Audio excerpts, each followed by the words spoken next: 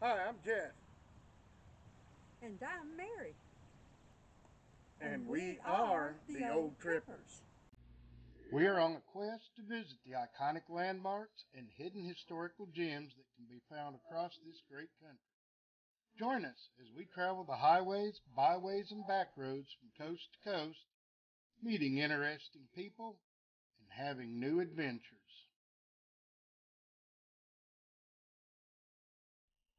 As we were traveling along I 90 in northern Idaho recently, Mary and I visited the oldest building in Idaho, the Cataldo Mission.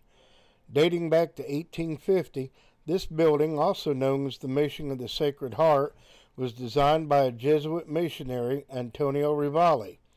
Ravalli used local Nez Perce Indians to build the mission, believing that in doing so they would feel part of the church.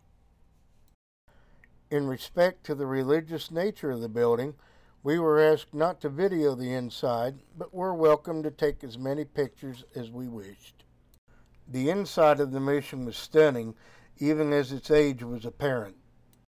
From the ornate hand carved ceiling panels hung rustic chandeliers made from pieces of surplus metal and tin cans. The altar itself is a masterpiece. The statues on either side were actually hand carved by Father Ravalli with a knife and were intended to look like marble. The original confessional, as well as an antique foot pedaled organ, are also in the sanctuary. Outside the mission is a 150 year old bell, which, though not for certain, is rumored to have once hung inside. The Mission of the Sacred Heart is in the Old Mission State Park, just off of I 90, exit 39 in northern Idaho.